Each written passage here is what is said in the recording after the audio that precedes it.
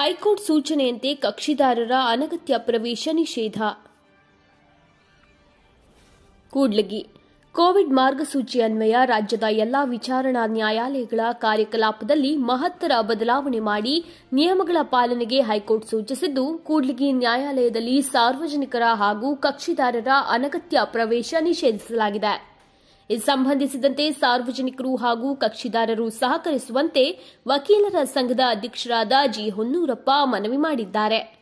ಮುಂದಿನ ಆದೇಶದವರೆಗೆ ಸದರಿ ಎಸ್ಒಪಿಯ ಅಧಿಸೂಚನೆ ಜಾರಿಯಲ್ಲಿರುತ್ತದೆ ಎಂದು ಕರ್ನಾಟಕ ಉಚ್ಚ ನ್ಯಾಯಾಲಯವು ತನ್ನ ಮಾರ್ಗಸೂಚಿಯಲ್ಲಿ ತಿಳಿಸಿದೆ. ಕಾರಣ ಎಲ್ಲರೂ ಸಹಕರಿಸಬೇಕೆಂದು ಕೋರಿದ್ದಾರೆ. ವಕೀಲರ ಸಂಘದ ಕಾರ್ಯದರ್ಶಿ ಬಿ ಸಿದ್ಲಿಂಗಪ್ಪ, ವಕೀಲರಾದ ಸಿ ವಿರೂಪಾಕ್ಷಪ್ಪ, ಮಲ್ಲಿಕಾರ್ಜುನ ಸ್ವಾಮಿ, ಕೊಟ್ರಗೌಡ, ನಾಗರಾಜ, ವೆಂಕಟೇಶ್ ಮತ್ತಿತರರು ಇದ್ದರು. ಎಲ್ಲ ಕಕ್ಷಿದಾರರಲ್ಲಿ ಮತ್ತು ವಕೀಲರಲ್ಲಿ ನಾವು ವಿನಂತಿ ಮಾಡಬಹುದೇನೆಂದರೆ ಮಾನ್ಯ ಸುಪ್ರೀಂ ಕೋರ್ಟ್ ಮತ್ತು ಉಚ್ಚ ನ್ಯಾಯಾಲಯದ ಆದೇಶದ ಪ್ರಕಾರ ಏನು ಎಸ್ಒಪಿ ಜಾರಿಗೊಳಿಸಿದೆ. ಹದಿನೇಳನೇ ತಾರೀಕಿನ ಇವತ್ತಿನಿಂದ. ಅದರಿಂದ ಕಕ್ಷಿದಾರರು ಯಾರು ಅವಶ್ಯಕತೆ ಇದೆಯೋ ಅಷ್ಟು ಮಾತ್ರ ಬರಲಿಕ್ಕೆ ಅವಕಾಶ.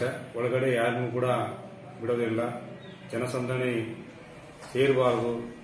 ಈ ಕೋವಿಡ್ ಪೆಂಡಮಿಕ್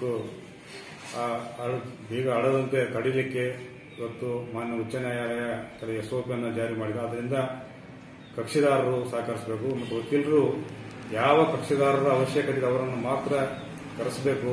ಅಂತ ವಿನಂತಿಸ್ಕೊಳ್ತೀನಿ. ಜೊತೆಗೆ ಎಲ್ಲ ವಿಚಾರಣೆಗಳನ್ನು ಕೂಡ ಮಾಡೋದಿಲ್ಲ ಅಂತೇಳಿ ಇವತ್ತು ಯಶವತ್ನಲ್ಲಿ ಹೇಳಿದ್ದಾರೆ. ಯಾವ ಅತ್ಯವಶ್ಯಕವಿದೆ ಏನು ಎಮರ್ಜೆನ್ಸಿ ಏನಿರುತ್ತೋ ಅಂತ ವಿಚಾರಣೆಗಳನ್ನು ಮಾತ್ರ ಆ ವಿಡಿಯೋ ಕಾಲ್ ಮುಖಾಂತರ ತೆಗೆದುಕೊಳ್ಳೋಕೆ ಅವಕಾಶ ಇದೆ. ಆದ್ರಿಂದ ಎಲ್ಲರೂ ಕೂಡ ಸಹಕರಿಸಬೇಕಂತ ಕೇಳ್ಕೊಳ್ತಾರೆ